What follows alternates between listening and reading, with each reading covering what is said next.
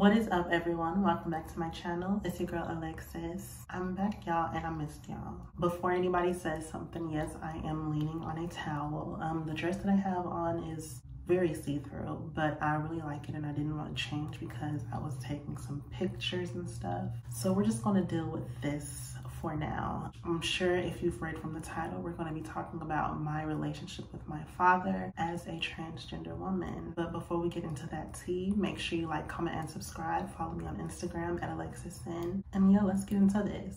So my mom was actually the inspiration behind this video. She was kind of motivating me to record this and talk about this just in case someone wanted to hear, you know, what my relationship is like with my father which is, is, is crazy. I kind of, you know, was contemplating a lot on making this video because I was a little bit uncomfortable and it still makes me uncomfortable. But, you know, I got some confirmation in a dream last night that made me say, you know what, let me go ahead and talk about this just in case some of my girls want to, you know, hear my testimony and my, you know, stories with the man that created me. So, yeah.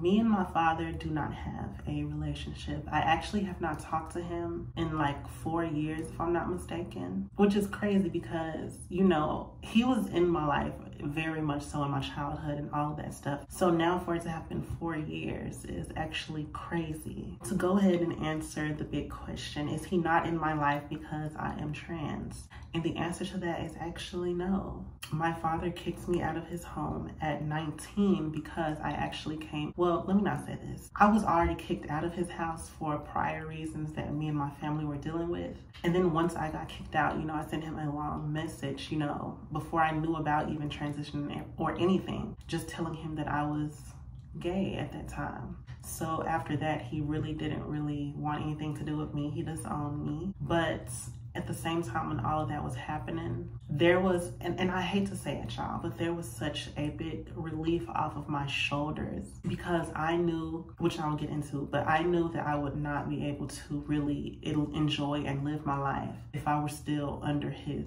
shackles, if you will. And to add on what I was saying a little bit earlier about him not, you know, kicking me out because of me. Well, he knows that I'm trans, y'all, at this moment, but he does not know what I look like. Like, he's talked to my mom because him and my mom still keep in contact and my sister because, you know, he's a grandpa and stuff or whatever now. But um, he does not even, he's scared to even see what I look like, which is understandable. But it's just such a funny little journey that we're on. But let me start from the, the beginning with y'all, okay? So basically, if you watched any of my story times, I have always been like, you know, an interesting kid. I've always known that I was different or whatever. But I think my father also knew that I was different. One thing I can say is that I'm very much so a mom's girl, but I was definitely a daddy's girl too. Now looking at it, because I was such, I wanted to please them too so much. Like everything I did, I wanted to make sure that they approved of my actions. Like I was, you know, the vice president in high school. I wanted to make sure that my grades are right. I even did sports and shit that I never wanted to do because I just really wanted the approval of my parents, especially my father. But he was very hard, you know, he was a, a hard man to please. But I, now looking back, I can definitely see that he had his own demons and stuff that he was battling, you know. So one thing I can say is that anything that I have experienced with my parents, I have forgiven them because I know that there is no manual to raising a child and especially a manual raising a child like myself. I just always wanted to please them. And you know, when he would call, like he was my father was more so of a boastful person in the sense of like I felt like a trophy at times because like I was smart and I was talented and I was the vice president and I would have like you know I just did good achievements. So like when he would be with his friends and stuff you know he would call me you know and have me on speakerphone just to kind of like boast about that. But then when he would get home it was a different story. He had more of a dark energy but like I said now I understand you know that he had his own battles and stuff that he was dealing with. So, you know, it is what it is. We all had a little tough childhood or whatever. My father was the type of a person, he was not affectionate at all. Like, he was not affectionate at all. Like, he was more so of a monetary person. Like, in, in exchange for his time, because he was always working, he always was hustling, trying to get the money or whatever. But you know, in exchange for his time, he gave us money. You know, he wasn't there, he gave us money. For Christmas, he gave us money. When he was away, he gave us money. You know, it was always that. And you know, at first, child, give me the money. But then you kind of grow up and you realize, okay, I think I, I would have valued the time a little bit more. But we all lived in a house, you know, at our last encounters with each other. And in this house, you know, there were cameras everywhere. There were cameras on the windows. There were, you know, voice monitors. The cameras had motion sensors, cameras all around the house, inside the house. It was just so crazy. So like, it's so funny because I call myself Princess Cenn a lot, like on other social medias and stuff.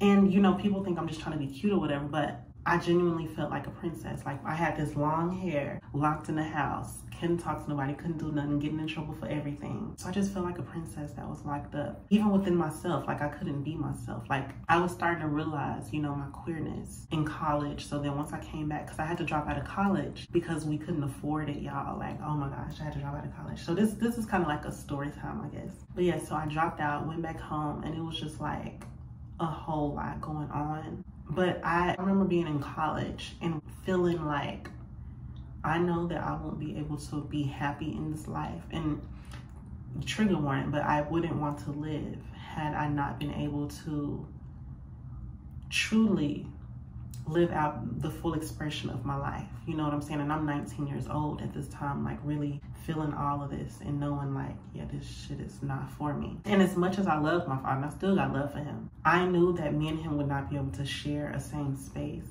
if I were to live my life.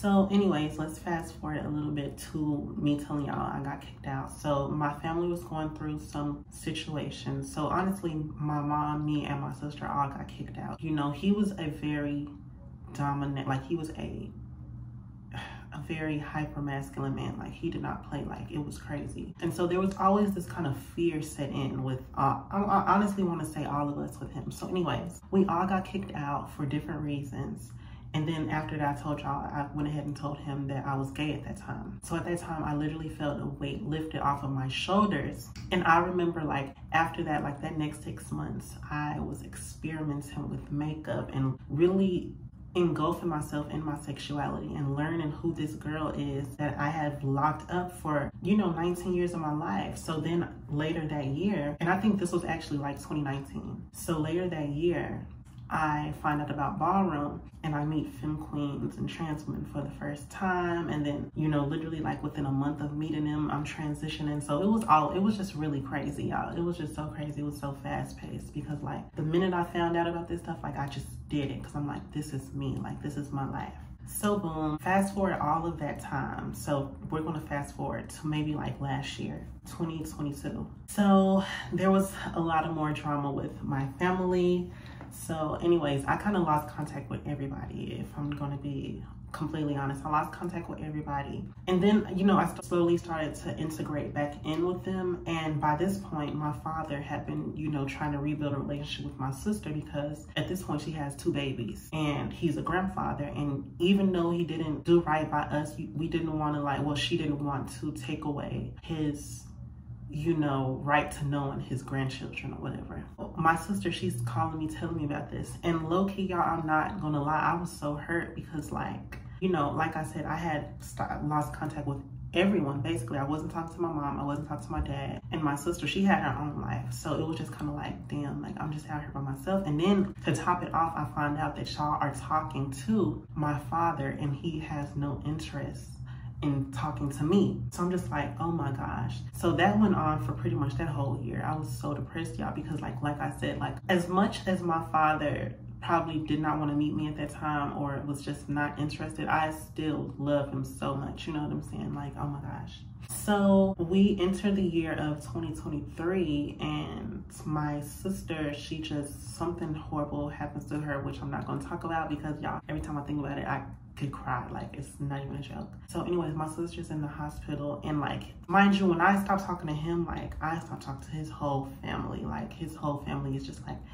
out of there. I'm not communicating with anybody. And you know, my sister's in the hospital, but this, for some reason, this is bringing everybody from both sides of the family together. Everybody's coming to see my sister, make sure she's okay, praying, all of that stuff. So I'm, I'm seeing. I didn't met his mom after four years. I didn't met his, his nephews and nieces all over again and it's crazy and like i'm starting to get kind of nervous because i'm like oh my gosh like am i going to meet him? And mind you they these people his side of the family i had stopped me seeing them when i was like 10 now they're seeing me 24 grown woman. So it was just really crazy so i'm getting kind of nervous. I'm like oh my gosh but like everybody accepted me with open arms and everybody was so accepting. And honestly i remember when all was just going down i was so frustrated because i did not want to meet them honestly i'm not gonna lie to y'all. But i was like y'all not gonna stop me for going to go see my sister. This is my baby. Like i'm not gonna I'm not hell no. Like if something happened to her, something might as well happen to me. So he ended up not coming, but he kept like keeping in contact with her and my mom and stuff. And this whole time I'm just kind of like, damn, like I was so ready to get it over with because like by this point, everybody's so comfortable with him. You know what I'm saying? And I felt like such a ghost. Like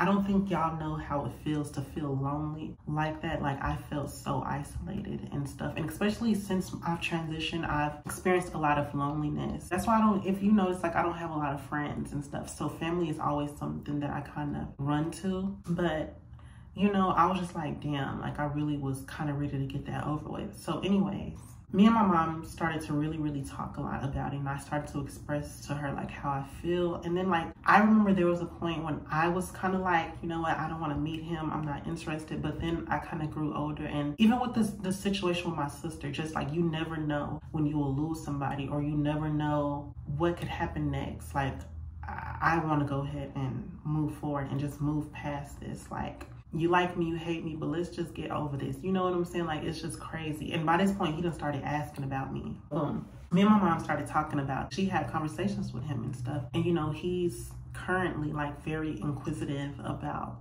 me, like, because he has three other daughters.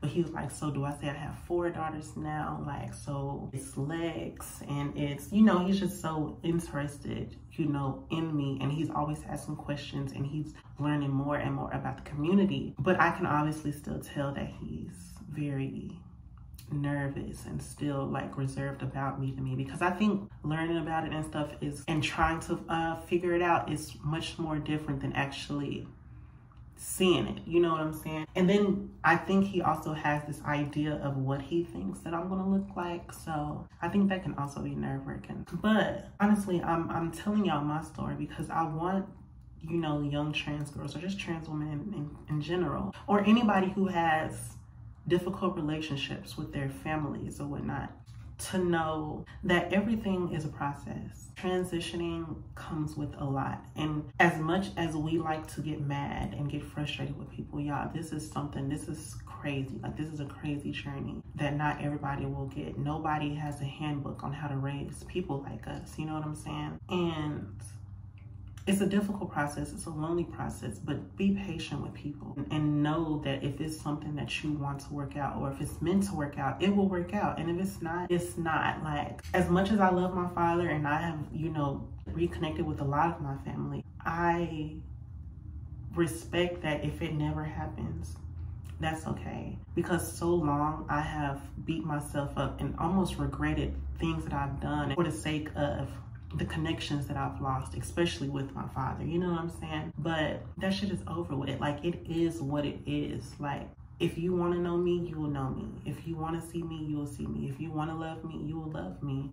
I'm human just like everybody else. You're human just like everybody else. And you cannot force nothing on people because you also just don't know what other people are dealing with. You don't know what demons other people are dealing with. And that's okay. That's okay. Because when the time happens, if I'm still open and ready, I will still be open and ready. If it's not, then it just is what it is. But to know that I did my part and I still, you know, understand and respect other people's space and, and, and just continue to be patient, even with myself, it's, it's a growing thing. But if you're dealing with stuff with your parents, just just live your life, baby. You know what I'm saying? Live your life transition in peace and when your time when you're ready not when nobody else is ready when you're ready you you make the certain moves that you want to make you know what i'm saying don't rush into nothing and let me say everything happens for a reason. Any relationship that's supposed to be salvaged will be salvaged. Any relationship that is done is done. And if, if, if that time comes when you're meant to be together again or meet each other again, it will happen. But don't beat yourself up because you're trans. Don't beat yourself up because of anything. And that's something that has been a big lesson for me because I have sought that affection and that attention in many ways. You know what I'm saying? Of course, you could say I had daddy issues or whatnot. And I'm the first that can admit that I probably did. But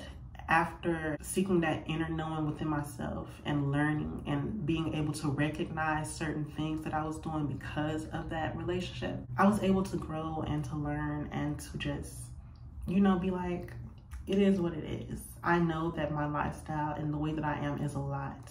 And I don't blame anybody. You know, that's why I respect everybody's boundaries and I respect what everybody feels. But I'm also not going to force anything. And I also honestly don't care enough to push that on anybody because I value this and I have people and we have to learn to be grateful for the people that are currently in our lives and willing to accept us and love us and all of that. And that's all you can do. I know this video is probably all over the place. It's just like a little story time chit chat, whatever you want to call it. But y'all, I really hope this was helpful and I hope that y'all, you know, just continue to be loved and love me. And like I said, y'all, thank y'all so much for the followers and the, the subscribers, whatever it's called. And yeah, I hope this was helpful and not too short, as I always say. But thank you guys so much for watching. Make sure you follow me on Instagram at Alexis Cenn. And bye. I love y'all.